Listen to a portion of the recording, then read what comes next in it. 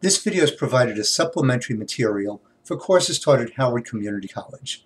And in this video, I'm going to show how to do a linear programming problem. Here's the problem. It says maximize the objective function z equals 3x plus 5y subject to the constraints 3x plus 2y is less than or equal to 24 x plus 2y is less than or equal to 16, and x is greater than 0, greater than or equal to 0, and y is greater than or equal to 0. So here's what, what this all means. We've got to find values for x and y that we can put into this objective function, z equals 3x plus 5y, so that z will be as big as possible. But we can't just use any values. We've got to use values that will work with these inequalities. So first we'll deal with the inequalities. Now those last two inequalities, the x is greater than or equal to 0 and y is greater than or equal to 0, that just means that when we graph this, we're just going to be in the first quadrant. That's the only place where both x and y are greater than or equal to 0. Okay, so let's start with a graph. And we'll work on that first inequality. I'm going to take the inequality and turn it into an equation, 3x plus 2y equals 24, and then I'll find the x and y intercepts for this equation. I can find the x-intercept by setting y equal to 0, since everywhere along the x-axis, y is going to be equal to 0. So that would mean if y was 0, I would just have 3x equals 24.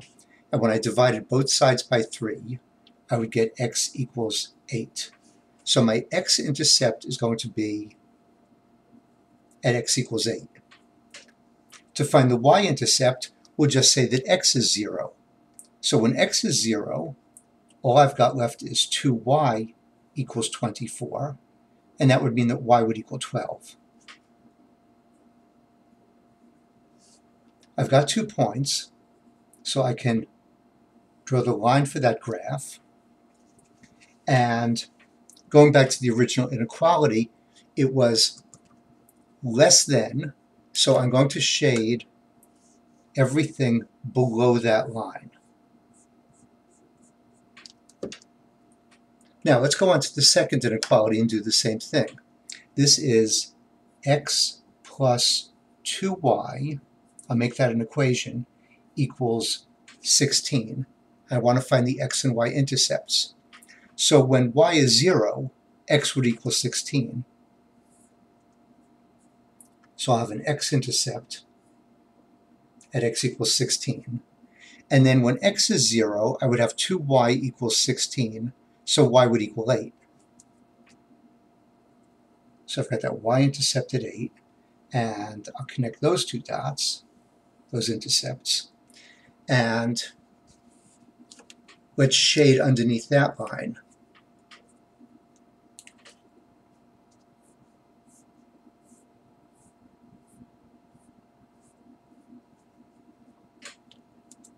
So now the region I'm dealing with, what we call the feasible region, is this part where both of the shadings overlap. Okay, this part over here.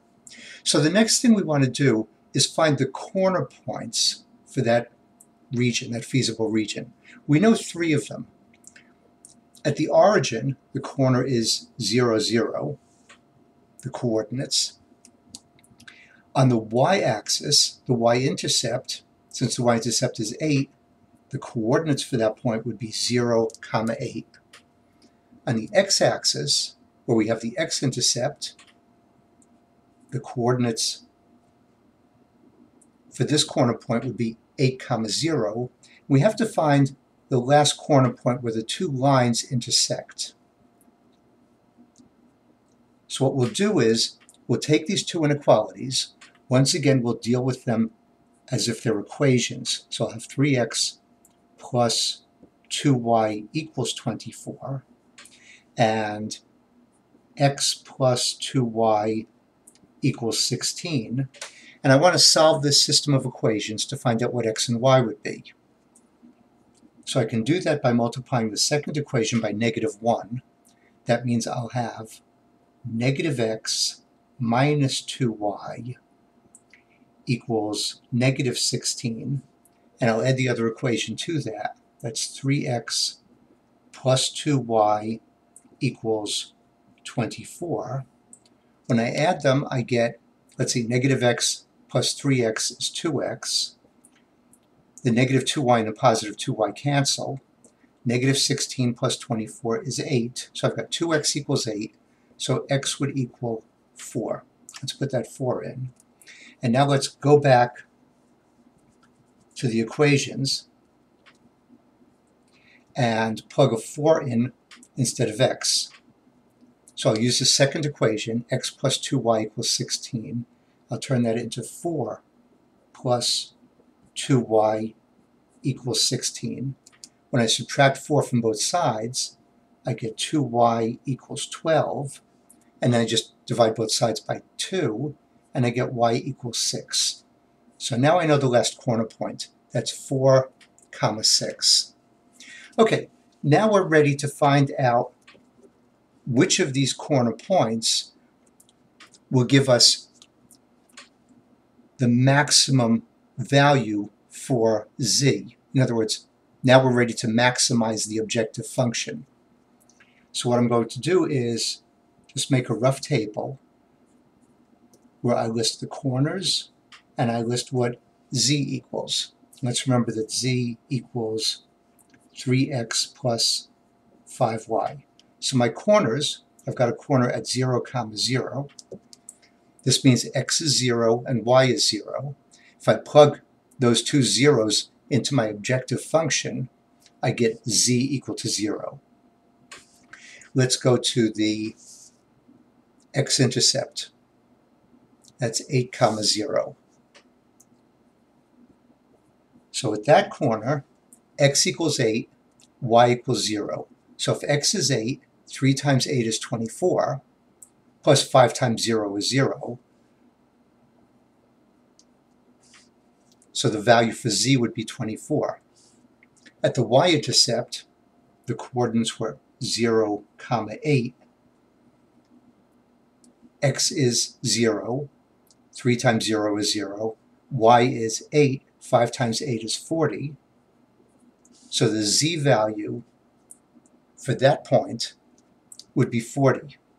And now we'll do the last point, 4 comma 6. So x is 4, y is 6. 3 times 4 would be 12, plus 5 times 6 would be 30, and that would equal 42.